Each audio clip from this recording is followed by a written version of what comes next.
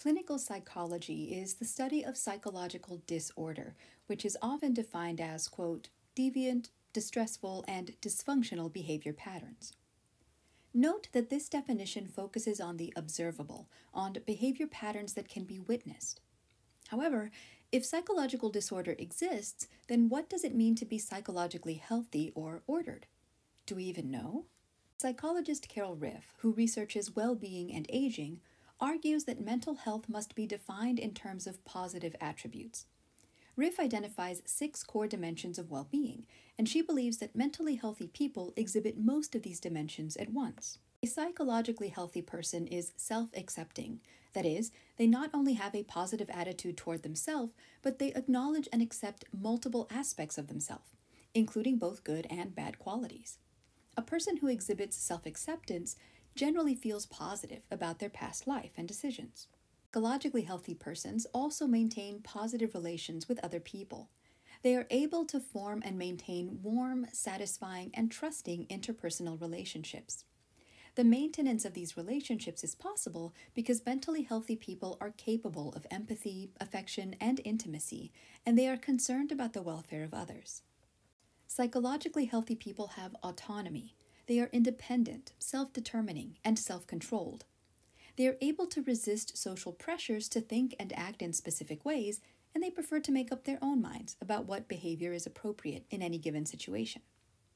The mentally healthy have a sense of environmental mastery. They are competent in managing their environment and they know how to make good use of available opportunities. They are able to choose or create contexts that are supportive of their personal needs or values. This idea connects somewhat with the concept of internal locus of control. Mentally healthy people believe that they can create positive outcomes, that they can make the best out of even bad situations. Psychologically healthy people feel that they have a purpose in life. They have both goals and a sense of directedness. The mentally healthy tend to feel that there is a meaning to life and they hold beliefs that give their life purpose. The sense of purpose isn't necessarily tied to religious belief, but it can be. Purpose can also be the result of strong moral or ethical beliefs and can influence a person's choice of occupation or vocation. Finally, mentally healthy people experience regular personal growth. Healthy people see themselves as continually growing and expanding. They're open to new experiences and have a sense of realizing their potential they change in ways that reflect improved self knowledge and effectiveness. Ryff believes that people living with psychological disorder are missing some, or maybe even pieces of all, of these core dimensions in their lives.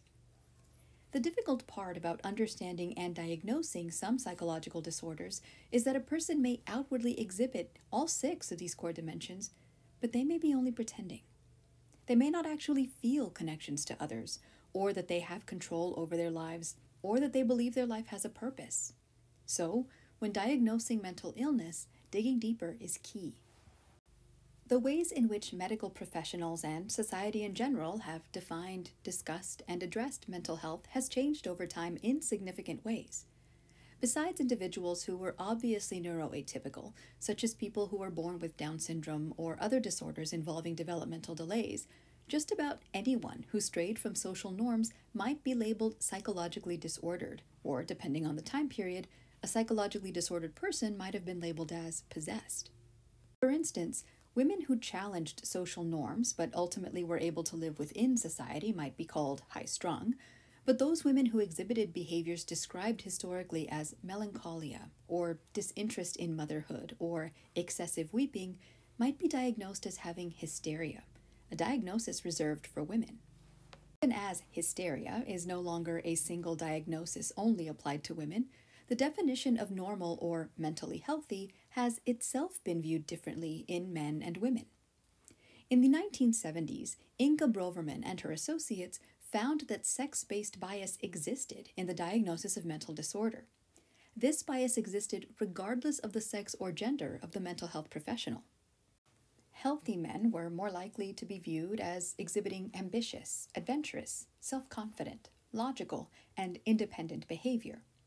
Psychologically healthy women were shown as exhibiting tactful, awareness of others' feelings, gentleness, expressiveness, and the need of security in their behaviors. These are all attributes closely tied to women's historical gender roles. So, a woman who exhibited adventurous behavior might be considered on the borderline of psychological disorder for no other reason than that she was a woman exhibiting this behavior. Interestingly, what Braverman's research also found was that despite reporting differences in how they approached diagnosis, mental health professionals tended to treat both men and women similarly, indicating that clinicians may disregard sexual stereotypes when actually developing treatment plans for a particular individual. Nonetheless, various kinds of bias, sex based, race based, size based, among others, persist in medical and mental health diagnoses. It should also be noted that bias has affected psychological and medical research, not just diagnosis. Much of the information which forms the body of psychological understanding has been focused on the Western world, meaning that there is a strong cultural bias both in determining what behaviors might be considered disordered and in choosing what disordered behaviors to research. Indeed, as psychological research has slowly become more inclusive, it is increasingly clear that some disorders are culture bound. They appear only in certain areas of the world and appear to be truly fostered by a person's culture. At the same time, these disorders exhibit real and treatable symptoms, regardless of where you are in the world. In the West, individuals are diagnosed with eating disorders like anorexia nervosa and bulimia, which seem tied to social expectations regarding body shape and size. In Latin American countries, it is common to hear of susto, a disorder marked by severe anxiety, restlessness, and a fear of black magic. Susto is tied to traditional indigenous beliefs in black magic or the evil eye, a belief that frightening strangers or contact with frightful supernatural beings might impact an individual negatively. Susto is most often diagnosed in infants and young children, although older individuals are sometimes also diagnosed. Besides the severe anxiety and restlessness, Susto is also marked by depression, loss of weight, weakness, and a rapid heartbeat. The treatment of Susto nearly always utilizes traditional folk remedies because many psychological treatises don't include Susto as a diagnosis. Uh, depending on one's location and cultural background, one might be treated for Susto by having certain plants rubbed along the skin or burnt nearby while chanting spells or prayers. For many Latinos with a Catholic background, a diagnosis of susto might be treated with rubbing a raw egg over a patient's skin three times while whispering a variety of prayers, often including the Apostles' Creed. After the third time, the egg is cracked in a bowl or glass filled with cold water. If the egg appears to cook in the cold water, then the patient has been cured of susto. If the egg does not cook, then the diagnosis of susto was incorrect, and it's time to figure out the right diagnosis. Another culture bound disorder is amok, originally found in the Indian Ocean basin and, thanks largely to the African diaspora after the 16th century, also in Latin America. Occurring more often in men than in women, the afflicted jump around violently, yell loudly, and attack objects and other people. The exhibition of these symptoms is often preceded by social withdrawal and a loss of contact with reality, and followed by depression, then amnesia regarding the symptomatic behavior. Within these cultures, it is believed that stress, shortage of sleep, alcohol consumption, and extreme heat are the primary causes. Treating these primary causes leads to successful recovery from amok. Since the 1950s, the classification of mental disorders has been organized into the Diagnostic and Statistical Manual of Mental Disorders, or the DSM. This manual is edited every few years. The newest edition is the DSM 5. The first DSM was published in 1952 as a way to synthesize and codify a variety of psychological research papers regarding disorders, particularly those studied during the global war period at the beginning of the 20th century. That is, disorders affecting veterans of the wars. From that first printing and through its various editions, the DSM has consistently been critiqued based on its classification system and methodology. Psychologists have long criticized the cultural bias of the DSM. For example, Susto and Amok are not listed. And some also criticize the fact the DSM is focused on the identification of the disorder, looking at its symptoms, and not the underlying causes of or treatments for the disorder. Additionally, some argue that the classification system, based on five axes, also arbitrarily divides disorders into groups and equally arbitrarily determines normal and abnormal behavior.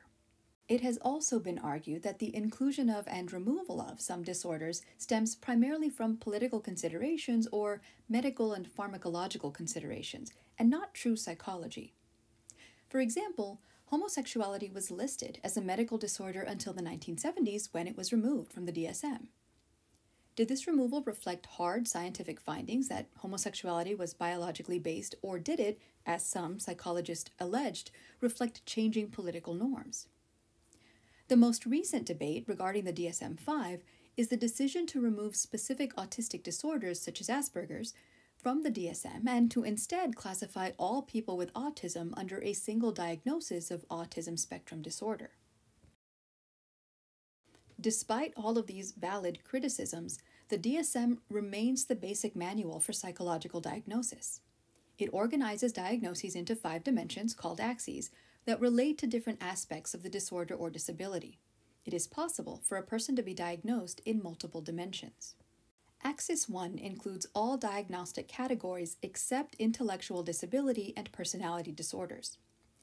This axis includes all of the anxiety disorders and mood disorders, as well as the various attention deficit disorders and autism spectrum disorder. The vast majority of people living with a mental health diagnosis are diagnosed with an Axis 1 disorder. Axis 2 includes disorders that involve intellectual disabilities as well as various personality disorders, such as schizophrenia. Axis 3 includes general and acute medical conditions, such as TBI or traumatic brain injury, as well as physical disorders. Often, an Axis 3 diagnosis may be a foundational cause of an Axis 1 or Axis 2 diagnosis. For instance, someone who experiences a severe TBI or a series of TBIs may also experience depression or anxiety as they work toward total or partial recovery. Axis 4 includes the psychosocial and environmental factors which contribute to the Axis 1, 2, or 3 diagnosis. Axis 5 includes the accepted diagnostic tests of mental health. Individuals over 18 are generally diagnosed based on the Global Assessment Scale of Functioning, and those under 18 are diagnosed using the Children's Global Assessment Scale. Both assessments use a numeric scale from 0 to 100, which is used to rate an individual's social, occupational, and psychological functioning, or how well adapted one is to deal with the problems of living. Generally speaking, mentally healthy adults score between 81 and 100. Those scoring between 61 to 80 exhibit either minor symptoms that may be related to a specific current psychosocial or environmental situation, or exhibit good coping mechanisms for their symptoms that allow them to live life normally. Those scoring between 51 and 60 exhibit moderate symptoms, while those scoring 50 and below are more seriously ill with individuals scoring between 1 and 10 exhibiting a persistent danger to themselves or to others. As we move through this unit on clinical psychology, we'll continue to explore various diagnoses from axes 1, 2, and 3.